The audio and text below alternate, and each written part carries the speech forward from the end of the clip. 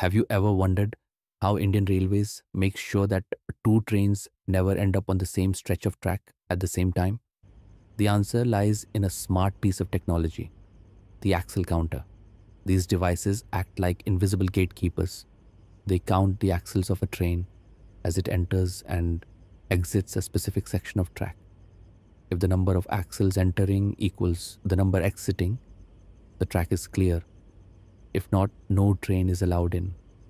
It's that precise and that safe. This system removes the need for manual checks and offers an alternative to track circuits, especially in places where those older systems don't work well, like long welded rail sections. Here's how it works sensors at the entry and exit detect each axle and send electrical pulses. These pulses are counted and compared. If everything matches, another train can safely proceed. Now, how widely is this used in India? Roughly 35 to 40% of Indian Railways track sections are equipped with axle counters, especially on busy routes, electrified lines, and high speed corridors. The rest? Many still depend on traditional systems or even manual monitoring, particularly in rural or less busy segments. But things are changing.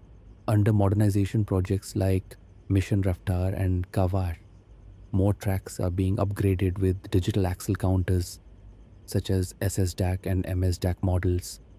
These newer systems are not only more reliable, they need less maintenance and uh, can be deployed modularly, section by section.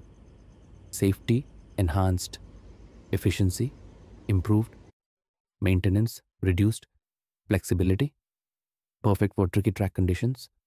So, next time you see a train glide down the tracks, remember it's not just the driver and the engine keeping things safe, it's the axle counter too, quietly doing its job, axle by axle. Axle counters first appeared in the 1950s and 60s in Germany and Switzerland as a smarter alternative to traditional track circuits.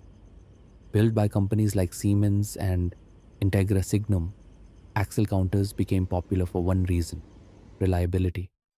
They worked where track circuits failed, especially on long welded rails and in snowy or hilly terrain. In India, axle counters started making their way into the rail system in the late 1990s, and today they're a core part of modern railway safety. From the Alps to the Ghats, axle counters have come a long way, keeping trains safe and tracks clear. Stay tuned with us, rail fans, for more behind the scenes tech that keeps India's trains running smart and safe